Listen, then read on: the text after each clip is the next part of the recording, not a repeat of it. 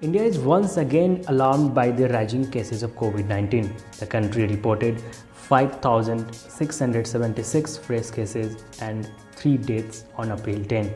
The major reason behind the increasing number of COVID cases is the XBB 1.16 variant.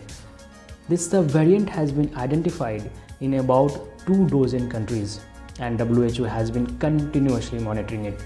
But do you know what is the XBB 1.16 variant? According to various health experts, XBB 1.16 is a new mutant of Omicron. The variant has been detected in many countries, including India. What are the symptoms of COVID variant XBB 1.16? According to various health experts, most symptoms are similar to flu, except for some abdominal symptoms and new loss of smell in a very limited number of patients.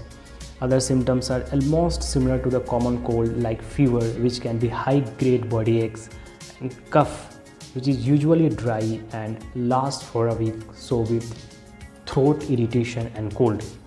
But do you know what are those symptoms which should not be avoided?